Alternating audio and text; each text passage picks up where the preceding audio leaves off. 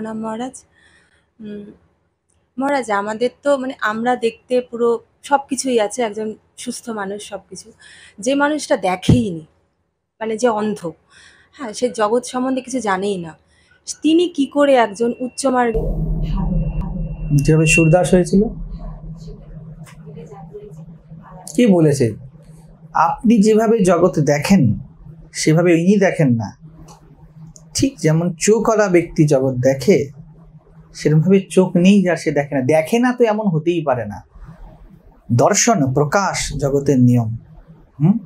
সে, আমরা প্রত্যেকে, আপনি দেখে মানসিক জগতে আছেন। উনি না দেখে মানসিক জগতে আছে। দেখছে তো সবাই। যে দেখতে পাচ্ছে না, যার কোনো বিকলাঙ্গতা আছে। কি করে হয়ে যায় যে পা দিয়ে লোকে চামচ তুলে খাচ্ছে? জীবন নিজেকে ম্যানিফেস্ট করে নেয়। যে দেখতে পাচ্ছে না, সে দেখার, বোঝার একটা জগৎ তৈরি করে ফেলে সাইকোলজিক্যাল ওয়ার্ল্ড একটু মনোবিজ্ঞান নিয়ে বহু এগিয়ে গিয়েছে যে একজন অন্ধ ব্যক্তি কীভাবে জগতে ডিল করে। একজন যে শুনতে পায় না, ঠিক আছে, বা বলতে পারে না, সে কীভাবে এইভাবে এইভাবে করে, আমরা আবার খবর দেখতাম, এখন তো হয় না বোধ হয়? নেই, এখন নেই। আগে এইভাবে কী করে কী করে এই জিনিসটা গঠন করা হয়ে গেল? জীবন যেন পথ বের করতে থাকে, আমরা মনে করি আমাদের পথটাই যেন জীবনের পথ। আমরা জীবনের পথের একটা পথিক। আর জীবন এই পথের মধ্যে সবাই হাঁটছে। সবাই নিজের মতো হাঁটছে। গাছ দাঁড়িয়ে আছে আমরা মনে করছি। গাছ দাঁড়িয়ে আছে, ও জীবনে যাত্রা করছে। আমাদের মনে হয় ও তো যেতে পারে না, আমরা যাই। ঠিক তেমনই যে ব্যক্তি শারীরিকভাবে এবং মানসিকও দেখুন না, খুব বুদ্ধিমান ব্যক্তি হ্যাঁ চার কাটাচ্ছে। খুব বোকা ব্যক্তিও তো জীবনটা কাটিয়ে দিচ্ছে। বোকামিও জীবনের একটা পথ। এই যে আগের দিন আলোচনা করছিলাম আমাদের ব্রহ্মচারীর সাথে, এই বলছিলাম যে স্বামীজি বলেছেন, স্বাধীনতাই প্রথম সূত্র। আমি ওকে বললাম, তোর ক্ষেত্রে নিয়মটা খেটেছে? বলছে, না। আমি যখন এখানে এসেছিলাম, কলকাতার ছেলে, একটুও ভালো লাগছিল না। খেলতে পারছি না। বাচ্চা ছেলে, খেলাধুলা সারাক্ষণের মধ্যে, মাছ মাংস ডিম খেতাম, খেতে পাচ্ছি না। আলো দেখতাম, শিয়ালের আওয়াজ শুনছি। ঠিক আছে? পড়াশোনা করব কি করব না বুঝতে পারছি না। যে কাজকর্ম চলছে এর মধ্যে যে আমি একটা হায়ার এডুকেশনের জন্য খুব রেডি হব করতে পারছি না। আমি একদম হেল্পলেস হয়ে গেছিলাম। আমি তখন ওকে বললাম, এই হেল্পলেসনেস মানে অসহায়তা, পরাধীনতা? তখন বলে পরাধীনতাই আমাকে গড়েছে। স্বামীজি বলছে, স্বাধীনতা গড়েছে। কাউকে পরাধীনতা করে। কোনো চোখওয়ালা লোক চোখ নিয়ে জগতে অন্ধের মতো আচরণ করে, সে তার বউয়ের মনটা পড়তে পারে না, সন্তানের মনটা পড়তে পারে না, আর কোনো অন্ধ সুরদাস কৃষ্ণকে পড়ে ফেলে। হুম। সুরদাসের ভজনে সেই গানটা খুব, আমি শিখেছিলাম ইমানে, যেন আমার মনে পড়ে। ভজনটা উনি তো হয়তো জানবেনি এটা ছিল সম্ভবত। উধো কর্মণ কি গতি নারী সব নদিয়া জল ভর ভর রহিয়া, সাগর কি বিধিখারি এত নদীতে মিষ্টি জল এত বিরাট সাগর, সেটা নন্তা। উজ্জ্বল পঙ্খ দিয়ে বগুলন কো কোয়েল কি গতিকারী। এত সুন্দর বক, ঝপঝপ করছে, কোনো কাজের না। এত সুন্দর গান করে কোকিল সে কালো তারপর বলছে, মূরখ মূরখ রাজি কিনহে পণ্ডিত ফিরে ভিখারি। সব মাথায় মূর্খরা বসে আছে, পণ্ডিত ঘুরে বেড়াচ্ছে। দেখুন, জীবনের গতি দেখুন। সুর শ্যাম মিলনে কি আশা? ছিনে ছিনে বিতত ভারী। চোখ করা লোকগুলো কোথায় কৃষ্ণকে খোঁজে? কোনো অন্ধ খুঁজে নিয়েছে? এই জন্য এটা কি বোঝা? টোটাল জীবনের অনন্ততা, জীবনের বিবিধতা। প্রত্যেকে কিছুর মধ্যে, মৃত্যুর মধ্যে জীবন এক্সপ্যান্ড করছে। এটা ইনি তো মেডিকেল ফিল্ডের লোক। যেই মুহূর্তে একজন মরলো, সঙ্গে সঙ্গে কিছু ফ্র্যাকশন অফ মোমেন্টের মধ্যে কি তার মধ্যে পরজীবীর উদ্ভব হতে শুরু করে না? ভাইরাস, ব্যাকটেরিয়া এইদিকে তুলসী পাতা দিচ্ছি এদিকে আইসিউতে রাখছে এদিকে নাক চাপছি, কত রকম আমরা প্রোটেকশন নিচ্ছি, হাত ধুচ্ছি, কেন? ও মরেনি, এক কোটি জন্মের কারণ হয়েছে। তো জীবন তার মতো করে এগায় হুম? আপনার চোখের দেখা আপনাকে অনেক কিছু দেখা থেকে বঞ্চিত রাখে। আবার কেউ চোখ না পেয়ে তার অনুভবের জগতে কত দূর চলে যায়, তার কোনো অসুবিধা নেই। কত সমস্যা থেকে বেঁচে যায়।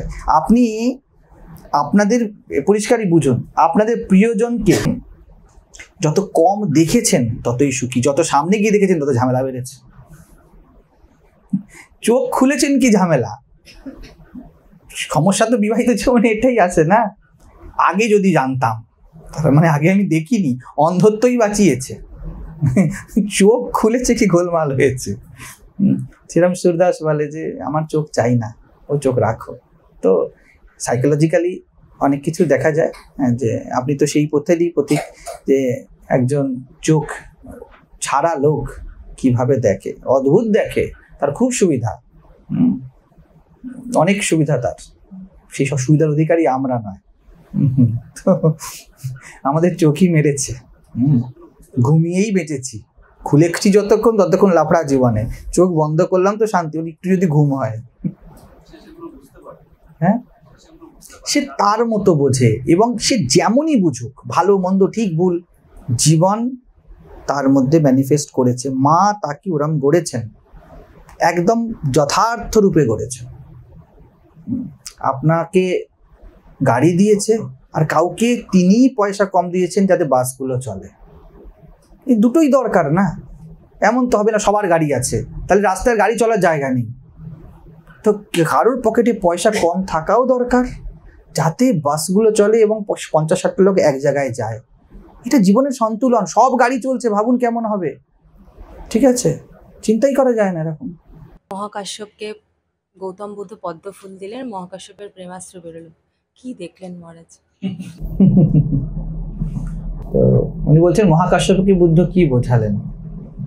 মহাকাশ্যপ বেশ কিছুদিন ধরে চিন্তায় ছিলেন। বুদ্ধের যে দশজন মূল শিষ্য তার মধ্যে মহাকাশ্যপ নাম ছিলেন কাশ্যপ, তার থেকে মহাকাশ্যপ তিনি এলেন।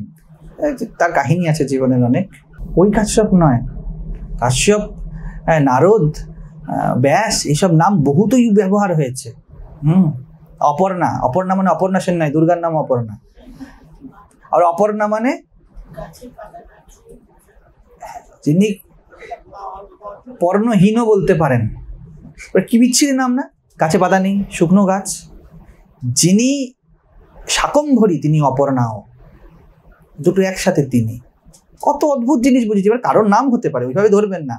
ঋষিদের যে নাম র্যান্ডম নেওয়া হয়েছে, আল্লোপনিষদ। উপনিষদের নামটি এত সুন্দর, এত ফেমাস হয়েছে যে যেই লিখেছে একটা উপনিষদ বজ্র সূচিকা উপনিষদ। লাগ- নাম লাগিয়ে দেবো যে উপনিষদ, কারণ ওটা চলেছে, ঠিক আছে? এখন মার্কেটে যদি কেউ শাহরুখ খান, নাম চালিয়ে দেবে বাজারে। দিচ্ছে তো না, দেখে। তো যে প্রশ্নটি ছিল যে মহাকাশ্যপকে বুদ্ধ কি বোঝালেন?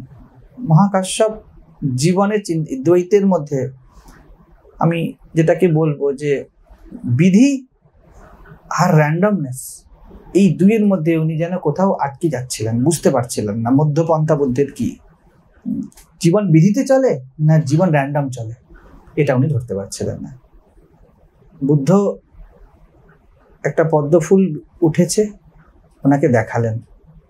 যেন বুদ্ধ বলে দিলেন, দেখো, এই পাঁকি পদ্ম হয়েছে। বিধি হ্যাঁ? জীবনে স্পন্টেনিয়াসনেস হয়। আপনি, আমরা রিসেন্টলি সব গাড়ি চালানো একটুখানি এদিক ওদিকে হাতে লাগাচ্ছি। তখন আমাদের পাশে যিনি আমাদেরকে শেখাচ্ছে, তো উনি নিজেই বলছিলেন, বারবার একটা কথা হচ্ছে। আমি এর মধ্যে থেকেই দেখুন, জীবন এইভাবেই শিক্ষা। উনি বারবার বলছেন একটাই কথা যে, এটা অটোমেটিক হয়ে যাবে। অর্থাৎ র্যান্ডাম হয়ে যাবে। এখন আপনাকে এক্সেলেটারে পা দেবেন, না ব্রেকে পা দেবেন, না ক্লাসটা টিপবেন। হয়তো ক্লাসটাকে কোনোভাবে পা না রেখেই আমরা ব্রেক দিচ্ছি, কাটে খ্যাঁ খ্যাঁ খ্যাঁ খ্যাঁ করে দাঁড়িয়ে গেল একটুখানি।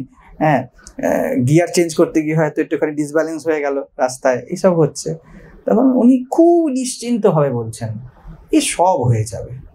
উনি যাত্রা করেছেন কি না? তো বুদ্ধও এরকম যাত্রা করেছেন জীবনের জীবনকে বুঝেছেন, বুদ্ধ সব করেছেন, যোগ করেছেন, তন্ত্র করেছেন সাংখ্য করেছেন, সব কিছুর মধ্যে একদম ডিটেলি প্র্যাকটিস করেছেন, শুধু পড়েননি। উপনিষদাদি তো রাজার ছেলে পড়েছিলেনই, এতে কোনো সন্দেহ নেই। উপনিষদ, পুরাণ সব পড়েছেন, কাজে নামিয়েছেন কঠোর থেকে কঠোর সাধনা করেছেন, শুকিয়ে গিয়েছিলেন একদম। তারপরে তো যাই হোক, কাহিনীতে সুজাতার সেই পরমান ইত্যাদি খাবার পর বুদ্ধ বুঝলেন, জীবন না নিয়মে আছে, না বেনিয়মে আছে।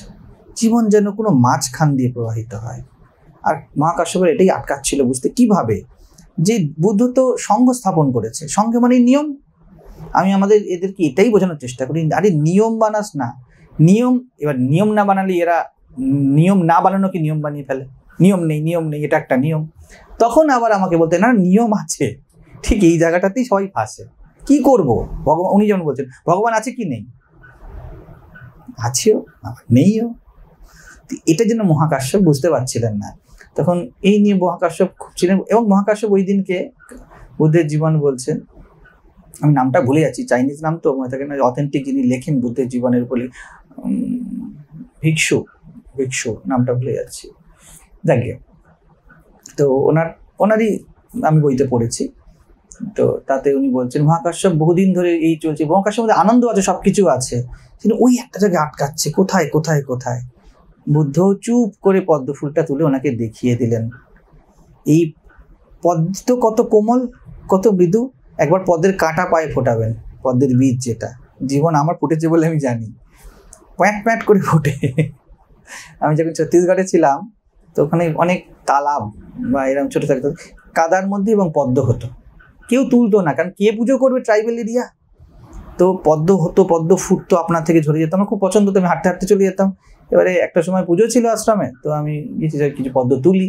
পদ্ম তুলি বললে তো পদ্ম তুলি না, যাচ্ছি পাঁকে, ফুটছে তো কাটা, পায়ের নিচে একটা কি, আরেকজনের পা ছিল খুব মোটা সেদিকে ঘটে কি করে চলে যাচ্ছে রে? তো তো চলে যাচ্ছে। তো গিয়ে আমি পদ্ম তুললাম, আমার তখনও মনে হলো, যাকে আমি আমি অভিজ্ঞতায় বলি, যাকে অগুরু গন্ধ বলি তা পদ্ম গন্ধ।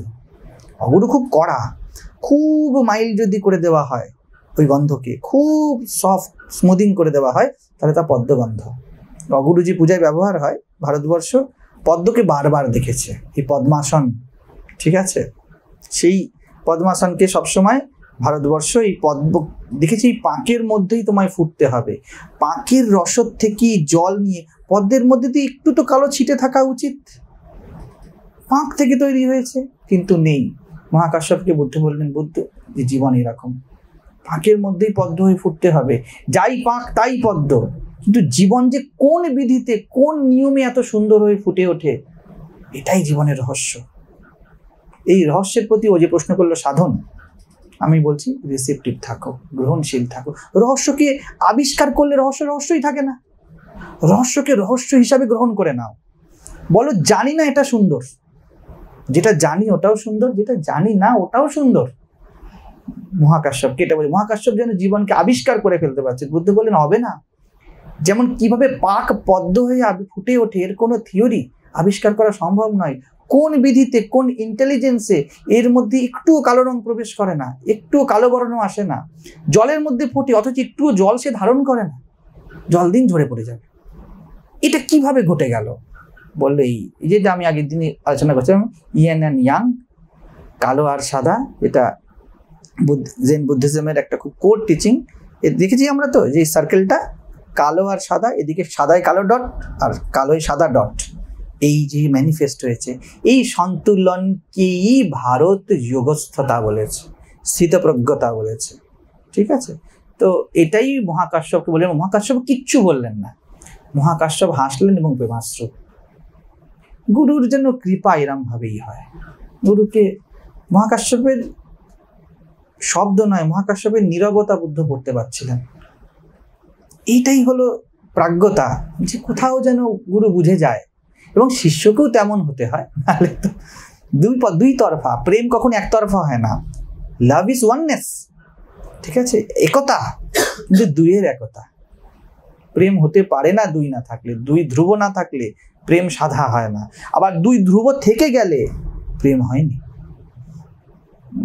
আমি যেটা বলছিলাম, প্রেম কি গলিয়া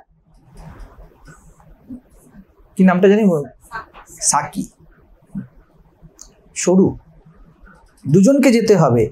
দুজনকে এক হয়ে যেতে হবে, এই বিধি চাই। এই দুইয়ের এক যোগ। এটাই অদ্বৈত। দুই দুই নয়। দ্বৈত, কিন্তু দ্বৈত নয়। এটা বুঝতে হবে, এটাই জীবনের রহস্য।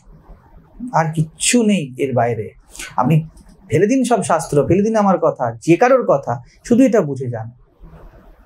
ছেলে, মায়ের প্রেম আর মায়ের চর দুয়ে গঠন হয়। একে গঠন হয় না। ওই প্রেমই চর হয়ে ম্যানিফেস্ট করবে আর প্রেমই হাত বোলানো হয়ে ম্যানিফেস্ট করবে। এবং এই যে অস্তিত্ব এই ডিভাইন মাদার আমাদের এইভাবে গড়ে। ঠিক আছে?